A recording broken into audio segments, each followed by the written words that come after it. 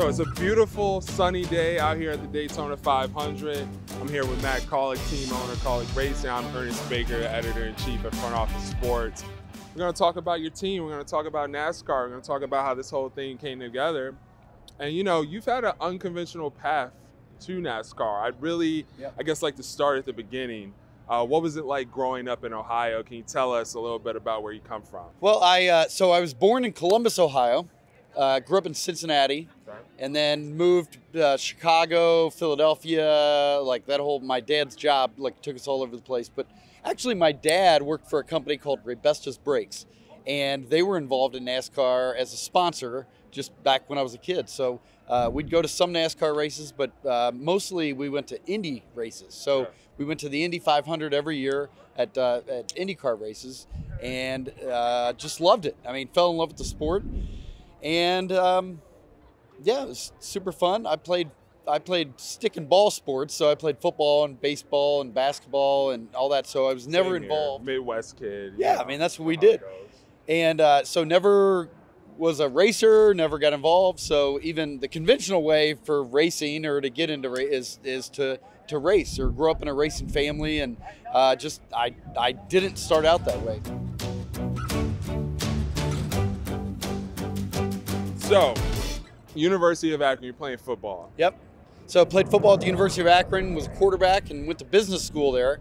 And uh, met my wife. She was a cheerleader, and so just stayed right there in Northeast Ohio. My very first job out of college was um, was selling remodeling products. So we sold everything for your home, like windows and siding and kitchens and roofs and basement. And so totally learned that business. Worked at that company for eight years, and then started my own business. We started selling LeafFilter gutter protection. So just started that thing out of my house.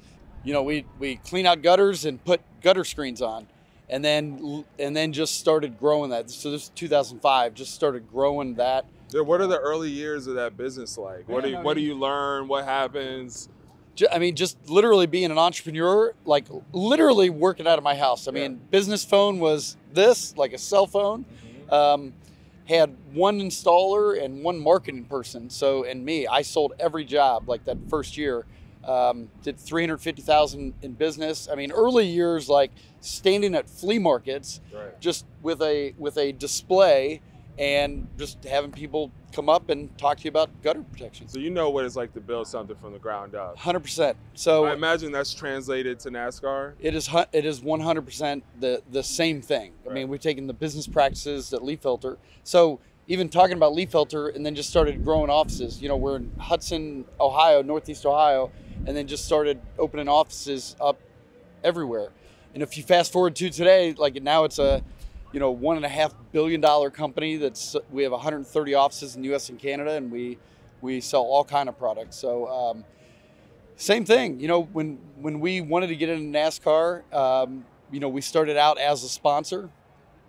Did it for two years as a sponsor, and then me being, you know, getting to know some of the other team owners and executives in NASCAR, and being entrepreneurial, I was like, I think I could do this myself. Yeah.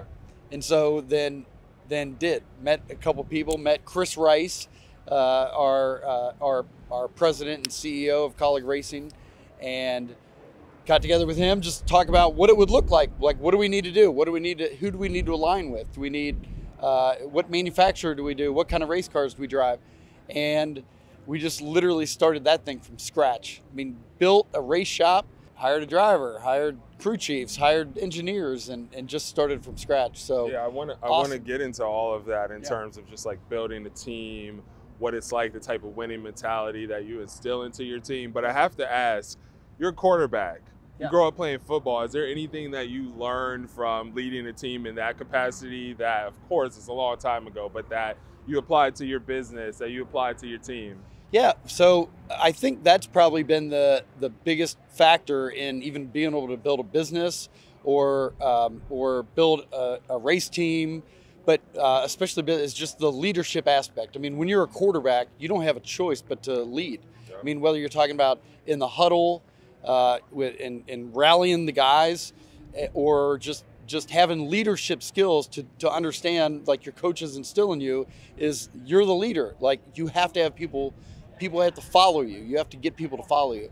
And so that's probably the biggest key to leadership is to get people the ability to get people to follow you to do what you do and trust you enough um, you know to to be able to follow so in business uh, i think that was my biggest thing is the ability to to get people to follow and trust you know what we do and it's translated into now nascar where you can build a team it's not easy i mean in nascar like we came into the sport and people have been doing this for 50 years. Yeah. I mean, the team owners that we're dealing with, like Richard Petty and and uh, Roger Penske and Joe Gibbs and Rick Hendrick, and I mean, they've literally been doing this for decades and decades and have super uh, like experience.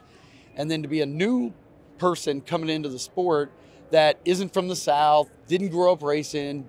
My name's not Earnhardt, you know, or or Dale Jarrett, or you know, and just the ability to just rally everybody and, and trust that, that we could follow. So now you fast forward, this is our seventh year.